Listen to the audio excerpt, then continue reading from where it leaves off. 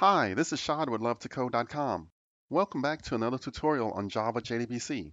In this video, we're going to learn how to read and write blobs. For this tutorial, we're going to use the employees table. I have a SQL script that will create the table and add sample data for you. You can download it from the link below. The file is SQL slash tablesetup.sql. So what exactly is a blob? Well, a blob is basically binary data that we store in the database. You normally use blobs to keep track of documents, images, audio, or any other binary object that you have. Note that not all databases have support for blobs. In this example, we're going to make use of MySQL, and they have blob support. On this slide, we'll learn how to create a blob column.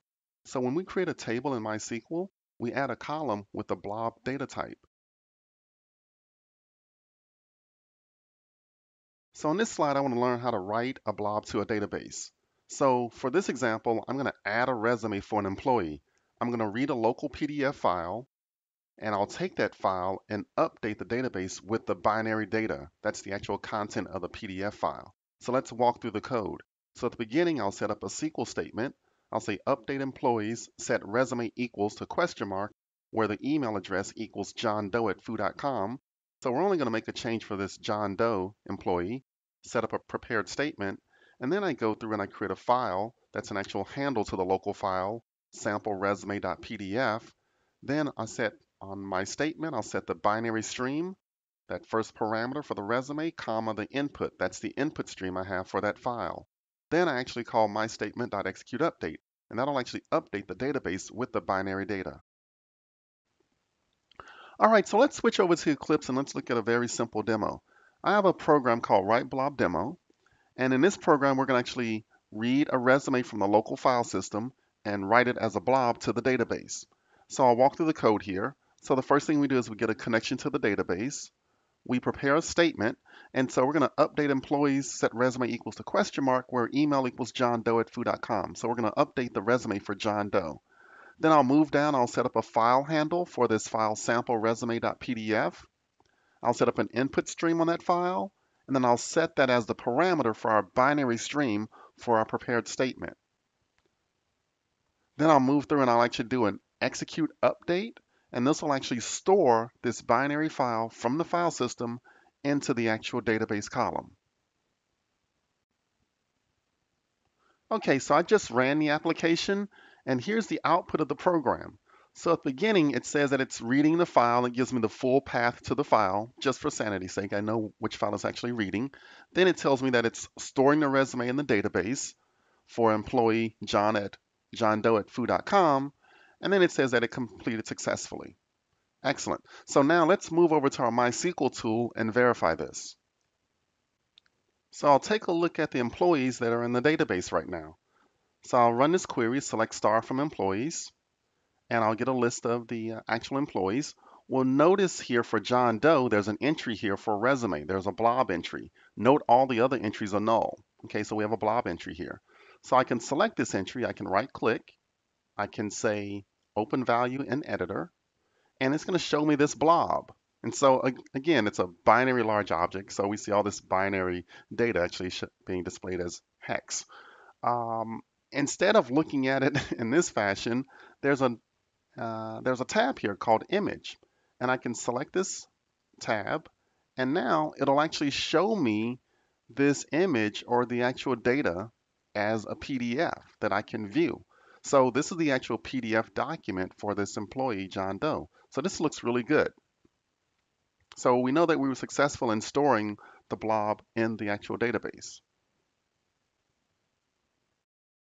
Now that we know how to write blobs in the database, let's learn how to read a blob from the database. So in this example, I'm going to read the employee's resume from the database as a blob and then store it as a file on my local file system. So let's walk through the code.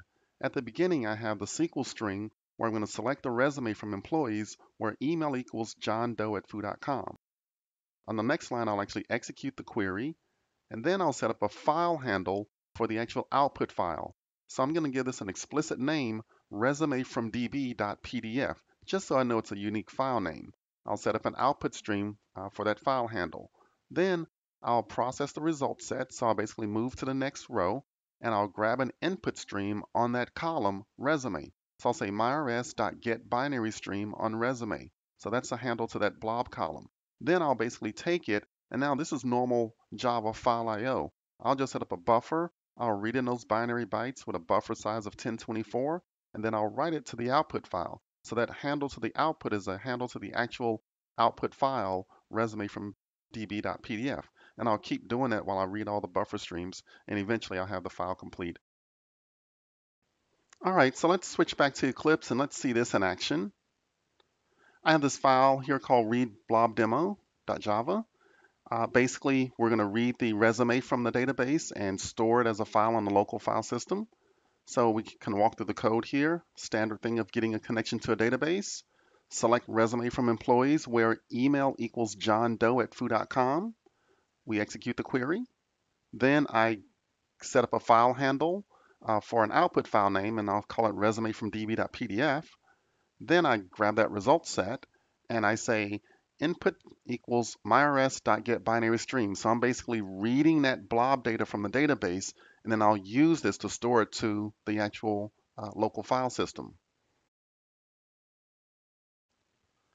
So once I have this input stream, then I take that and I write that out to the output file. And I just keep doing that until the file is actually completely written. We'll say save the file and complete it successfully. Okay, so I just ran the application and here's the output from it. It said reading from database. It gives the query that it was using, John Doe at foo.com.